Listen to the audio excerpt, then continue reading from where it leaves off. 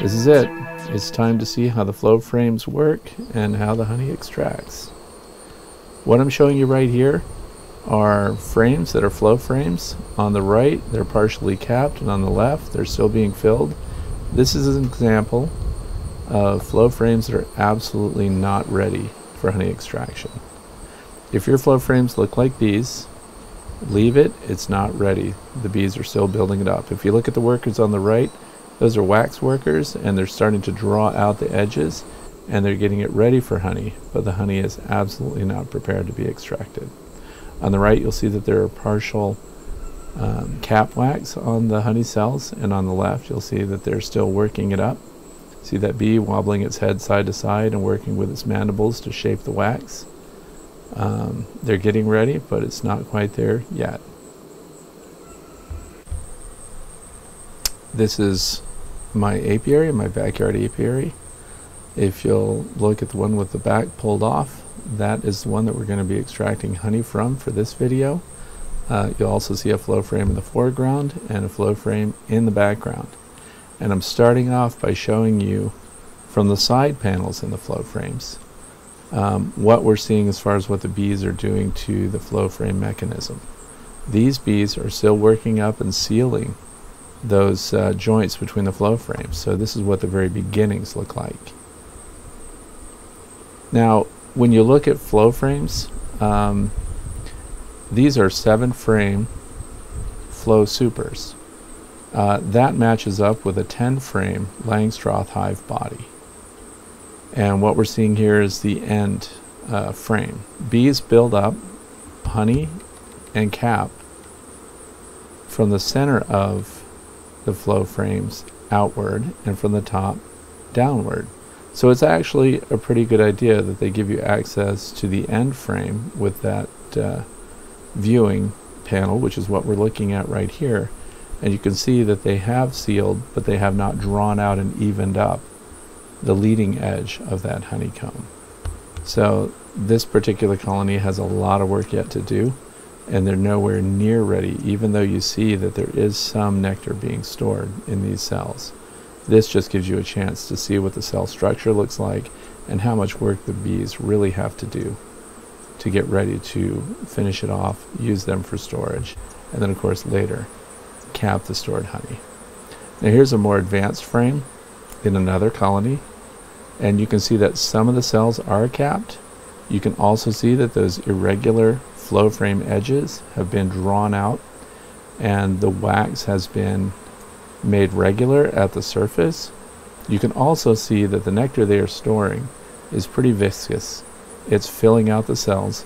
So within probably half a week, um, this particular flow super is going to be ready for extraction. But it's not ready right now as it's shown here.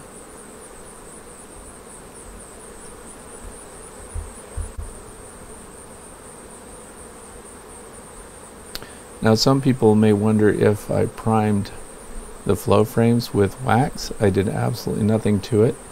I installed flow frames exactly as they came from Australia and uh, did nothing to them in preparation for the bees using them.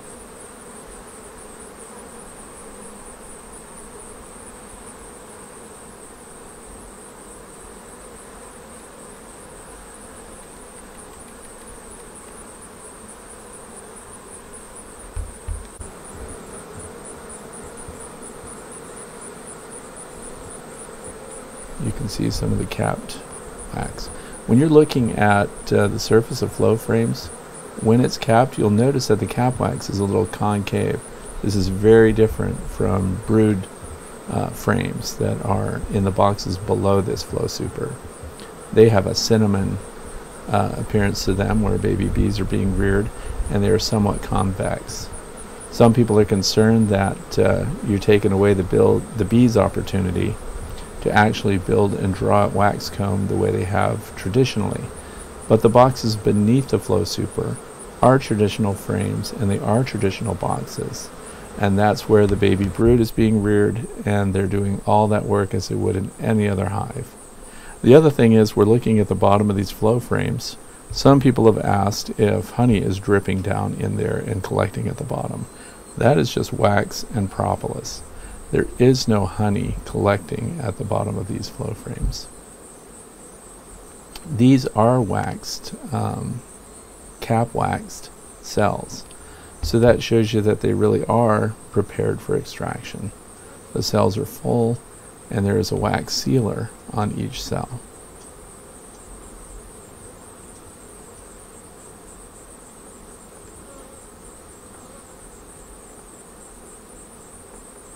You'll notice that the workers have also sealed all of the joints in the flow frames.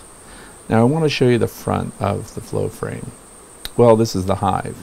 The flow frame is a couple of boxes up. But uh, what the bees are doing here, this is normal activity, and this is important for you to see because what you're going to see after extraction is very important.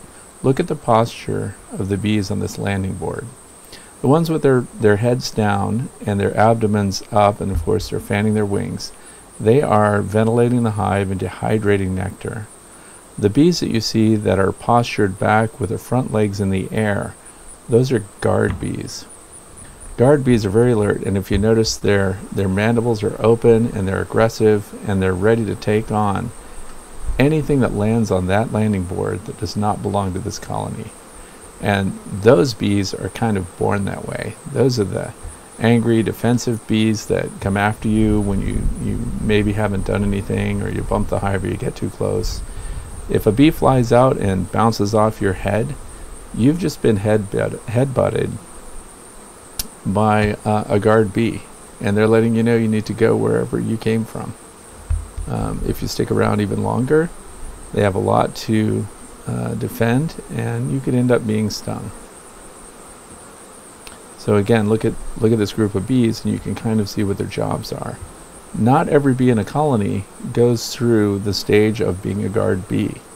If that were the case, um, at some times of the year there would be 1,700 guard bees. Look at how this one uh, lifts her forelegs at everything that comes near her. If a yellow jacket landed on this board, it would be gone immediately.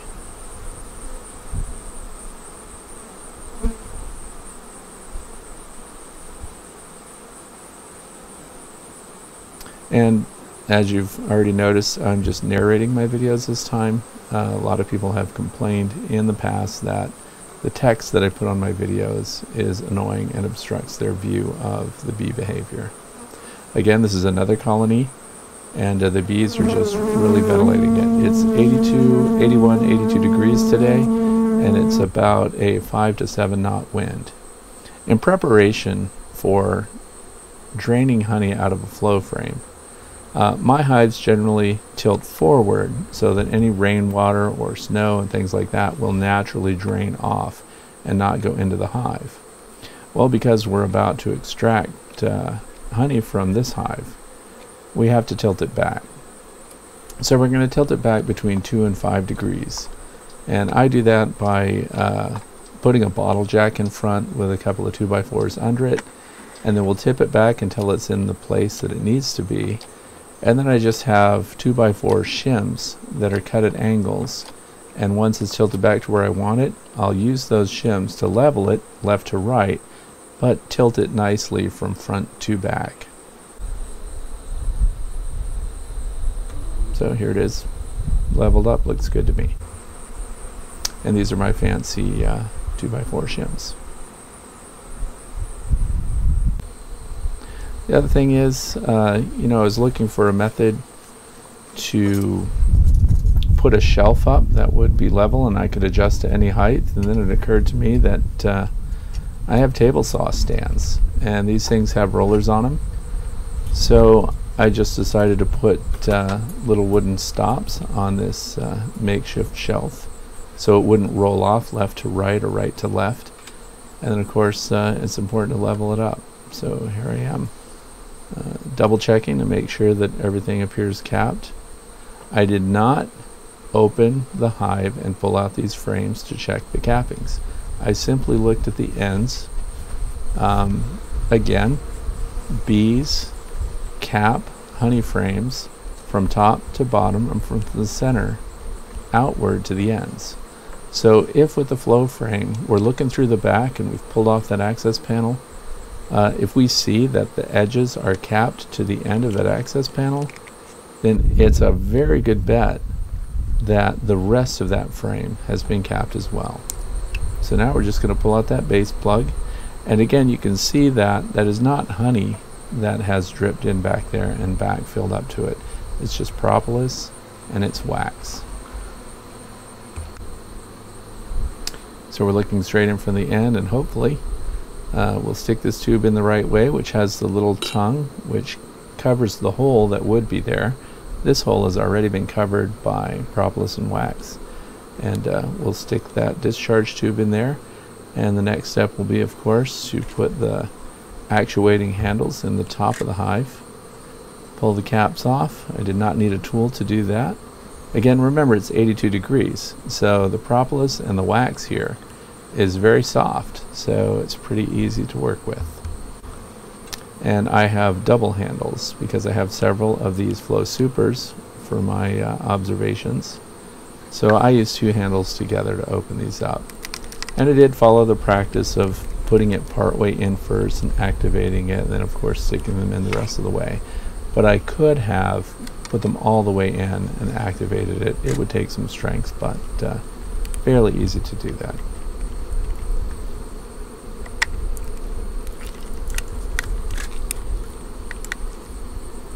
remember do this on a hot day. It's like uh, 2 o'clock in the afternoon.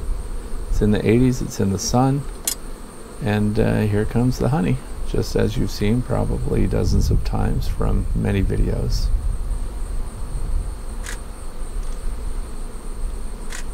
Now I don't have to wear my bee suit. I don't have to use my smoker. Um, I would hate wearing my bee suit on a day as hot as this. Um, I'm just out here in my t-shirt. I do have the hat that was provided with the original flow hive and it has a veil on it so if I need to pull that down if I pick up a guard bee that comes after me I won't have to abandon my draining and bottling operation here uh, to walk away from a bee that's defensive but as it turned out I did not have to use the veil so this was a very smooth operation and this of course just shows the flow frames draining after being activated. This is real time. This is not a uh, time-lapsed filling. These jars filled up pretty quick. And uh, it really went smooth.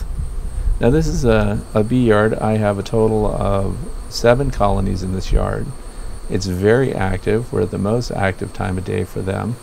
And not a single honeybee is coming to the back of the hive and getting into my honey collection operation here.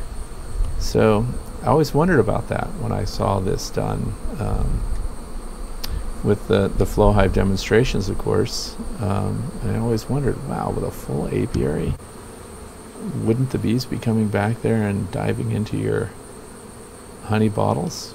Well, I guess not.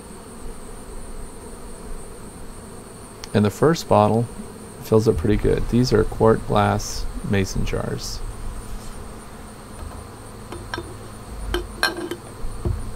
And my wife uh, was running the jars for me back to the house and bringing out fresh ones.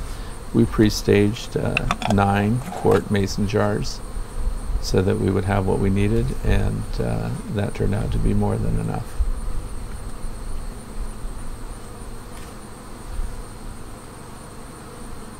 Now my normal extraction process would be to open a honey super and pull out every capped frame. And then of course we would shake the bees off and we would have to take that into the garage which is where I have a big honey bench set up. And we would have to uncap each frame uh, either with an uncapping fork and I also have a heated uncapping plane. And then we have to have a uh, capping uncapping tray that we set those frames on, uncap onto, and then we put it into the centrifugal spinner to extract the honey from the frames. And of course here um, we're eliminating that stage in that process. And uh, obviously I don't have to use a bee smoker. And uh, I'm not doing any straining, I'm not doing any filtering of this honey. It's going directly into these mason jars and uh, does not have the normal bits and pieces of honeybees in it. It does not have the bits and pieces of the cap wax in it. So I've really eliminated uh, that whole stage, and of course that's what the Flow family tells us to expect from their innovation here. And uh, I have to say that it is working just like that. Now another question that comes up is, uh, do the bees know that those uh, cells have been emptied of honey? And uh, are they expecting that they still have honey stored? And uh, when they go to uncap it and access the honey, will they just find that their cupboards are bare, so to speak? Uh, no, they realize immediately, even though uh, the cap wax isn't profoundly disrupted, uh, they knew right away that their honey stores were being drained. And even while I'm draining some of the full frames, uh, those that have been drained and the caps replaced, the bees already started uh, tearing away at the cap wax and getting inside and cleaning up those cells. So that was interesting. Um, what happens to that cap wax? Do they reuse it? That's a question that people tend to ask. Uh, the cap wax gets torn off by the bees that are the storekeeper bees inside the hive. They drop that cap wax to the bottom and the field bees will be grabbing those caps and flying away with them. They don't reuse that stuff in the hive anywhere. Um, now, where honeycomb is drawn out, they do reconstitute the surface of the honeycomb and prepare it to be reused for honey storage. So here you can see some of the bees have pollen on their legs. Uh, the big fat bees with the black shiny abdomen are of course the male drones. Uh, they don't do anything anyway except uh, consume honey and nectar and wait around for a virgin queen to mate with. So drones, uh, drones are big consumers. Here's the other thing. Um, you cannot put more than three quart jars at a time and extract more than three quart jars at a time. There just isn't room. Now, some people will take a bucket and they'll put all the extraction tubes in and they'll activate all the frames and they'll pour it all into that bucket. Huge mistake. And let me tell you why. When you're looking at each frame and each jar of honey as it's being extracted, you're going to notice that this honey um, has very different coloration. So within each frame, and this is something that I really didn't expect, uh, each frame has honey often from different floral sources. For example, the really light stuff is coming off of clover and other floral honeys like that. Of course, boom, a yellow jacket got in there and I had to fish him out with a little bamboo stick. But uh, other than that yellow jacket, nothing else throughout this operation flew into these jars. Now I had a Ziploc baggie with the side cut off of it just in case I needed to protect them. But this turned out to be the only honey casualty throughout uh, the extraction process. So the honeybees paid no attention. Yellow jackets, of course, they're scouting for back doors all the time. And uh, that little yellow jacket got a lesson. But what I want you to look at are these three jars. And if you see the one in the middle, that honey is so light and yellow um, if I were extracting into a larger container or an extraction tank, which is what I normally do, uh, all the honey would mix together and we wouldn't even know the differences frame by frame uh, of what was in the flow frames and the flow supers. So this is a bonus. We tasted the jars independently and they have a different scent and they have a different flavor. Sometimes that difference is kind of mild. This is my attempt at trying to give you the super fluid uh, flyby look at the jars, the way the Flow family seems to do in all of their videos. But look at that center jar. What a difference. We're not homogenizing the honey, you know, we're not blending it all together and uh, making it all taste the same. This is uh, a very interesting outcome.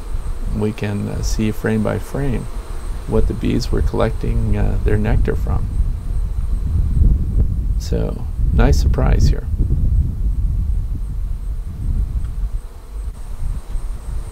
Now, here's the thing that uh, it's kind of a big deal to me. The bees, as the honey drips out of the frames that you're processing, when it drips down into the hive body, and you'll see that my flow super is the very top box, then there's the blue box, that's a honey super that is already full. There's a light yellow box, that is a, uh, a brood box that has nectar, it has brood in it, and it has pollen in it, and of course the bottom box is primarily baby bee brood. Now what happened was the honey drips down inside and the bees evacuate the hive. Um, if they stayed in there and honey dripped all over them, they're actually in jeopardy. So they move out and you're going to see a mass of bees on the front of your beehive. And that's because we're extracting all seven frames at one time. Uh, that releases a lot of honey into the hive. It drips over the, the frames below it now our bottom boards are solid. And remember, it is tilted back, so the honey doesn't drain out the front the way it would if this colony were in its normal tilted forward position to the landing board.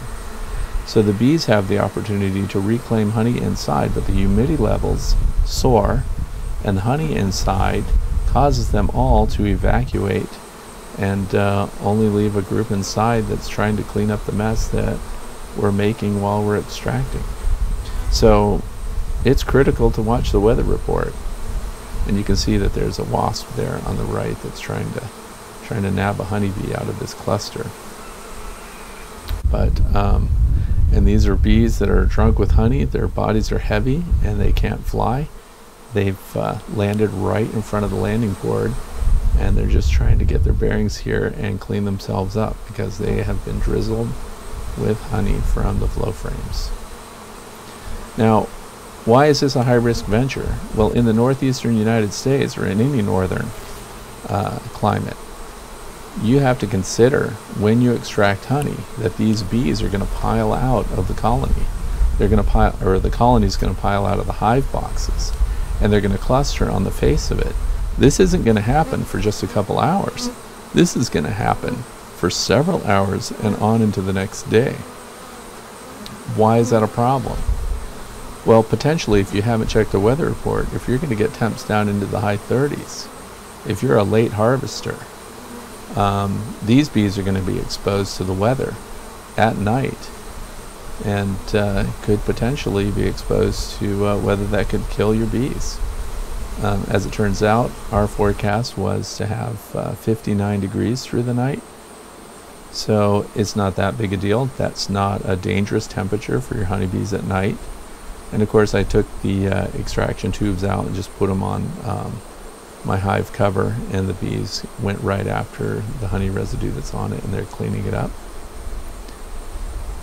So these bees are, are filling up with honey because it's been dripped all over.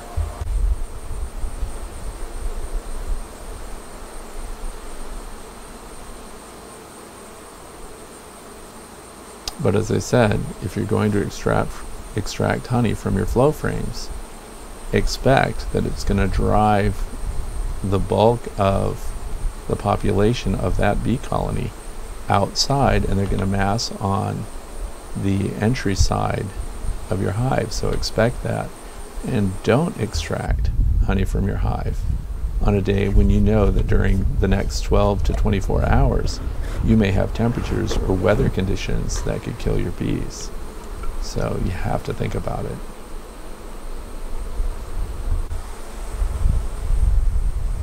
Now these bees are piling on uh, in their their honey feast, and of course they're gonna roll this thing right off the edge here.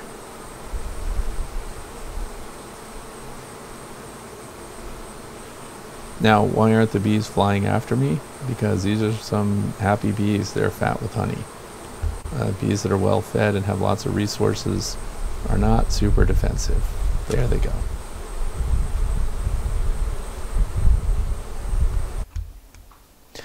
Now here's the thing. I'm up at 3:15 in the morning. You're reading this right. It's 55 degrees Fahrenheit outside and zero wind. That's a great thing too because it makes it easier for the bees to cope. And I decided to take my camera outside and see what these bees are doing.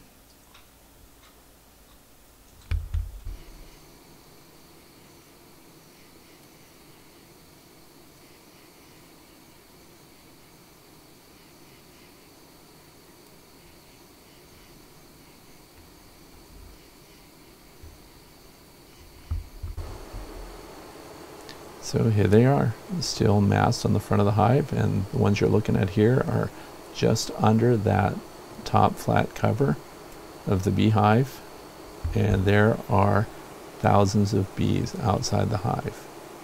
Now I did notice that this time of the night they are ventilating the hive really well and they are not uh, blocking it so they are inside reconstituting um, the honey that's dribbled everywhere so they're saving it and putting it probably in cells everywhere where they can find them and then what I call the storekeeper bees uh, move that honey around and they start to consolidate it again in the center of the frames and at the top of the frames and they'll start to fill the cells and work their way back out. And there's an upper vent on all of my uh, bee colonies. So they're gradually going to work their way back inside. But uh, yeah, they're out all night.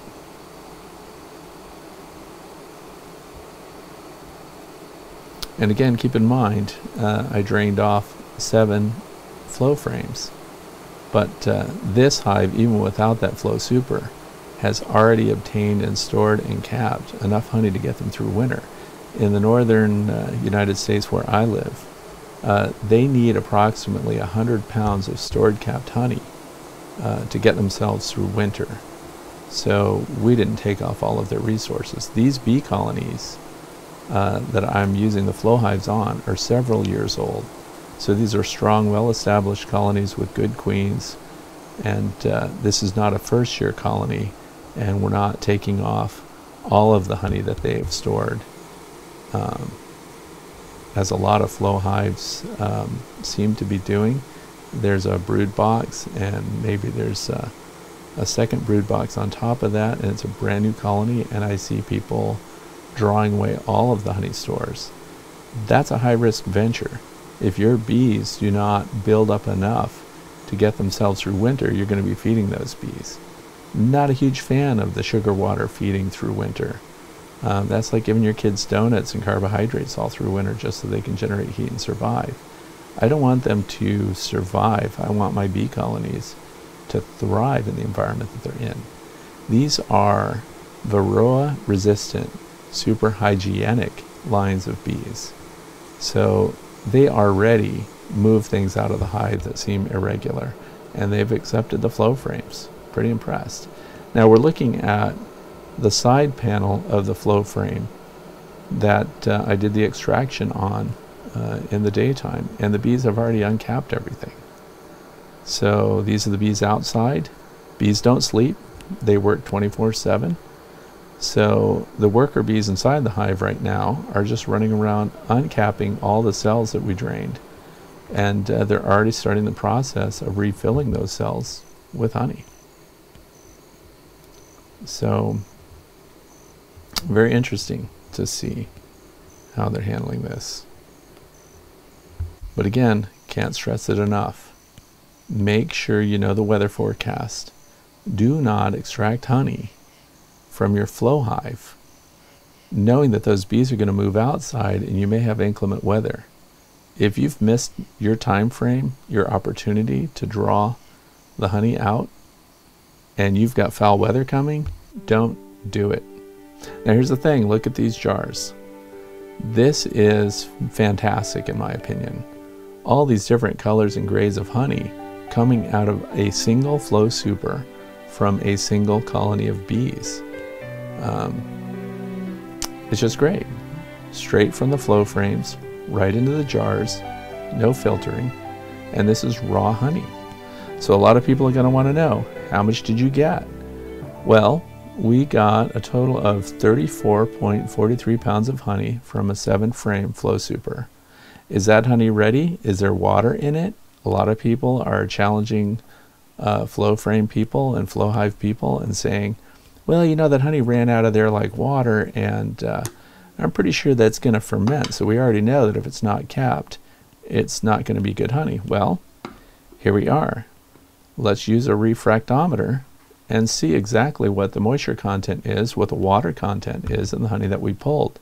So I'm taking what I consider to be the worst honey that I drew off of that seven frame super.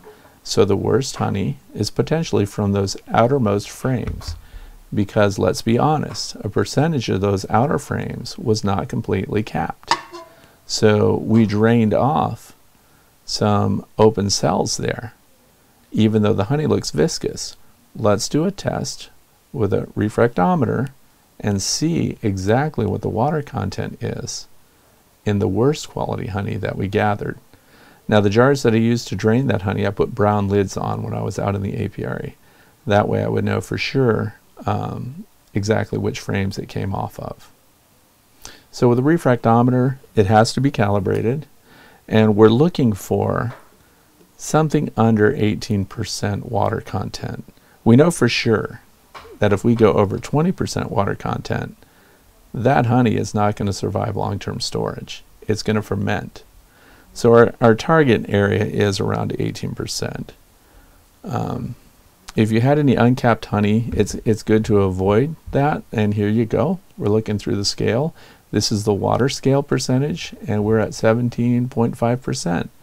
So the worst honey that we drew off of the seven frame uh, flow super there is at 17.5%. Uh, so this honey at this water percentage uh, could be stored in jars and would last without fermenting. So I guess we're okay there. Uh, I never like to just ballpark guess and look at it. There are knife tests where you let the honey drip off the edge of a knife and see if it goes all the way to the end to drip off um, and doesn't drip intermediately down the blade of the knife. And that, you know, some people use that to gauge the viscosity of the honey. Um, but this, of course, um, is a device that is accurate enough to determine water content in your honey. And there's of course my jar to the right there with the brown lid.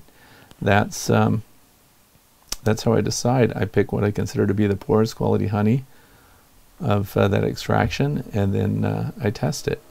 The other thing is we weigh each jar to see how much honey we got. You have to subtract 13.5 ounces for the glass jar and the plastic lid from your overall weight, and then uh, you'll know how much uh, honey you got by weight.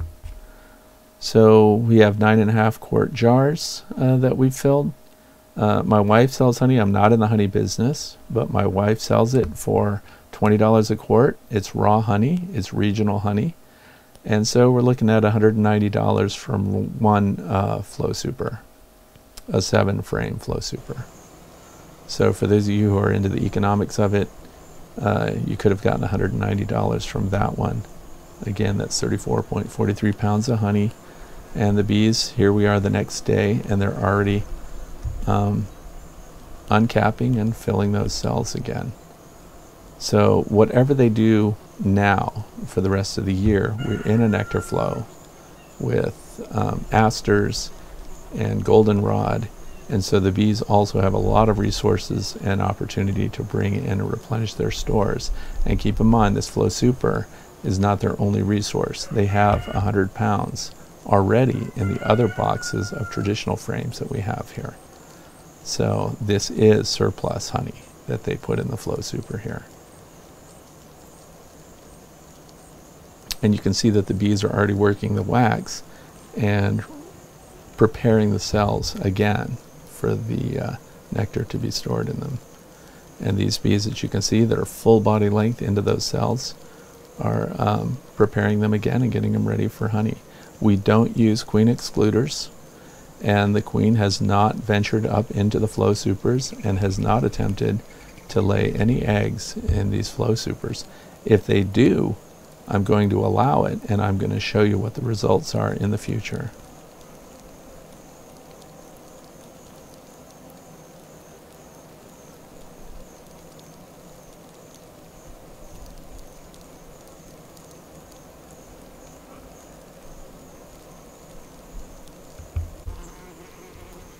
Now, the drainage of these flow frames is supposed to um, be open and the bees are supposed to be able to reclaim it.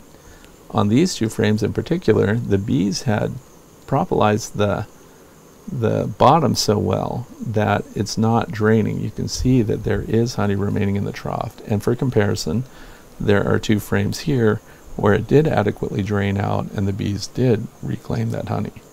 So I'm hoping that uh, they'll eat away some of that wax and have access to those uh, frames that did retain honey.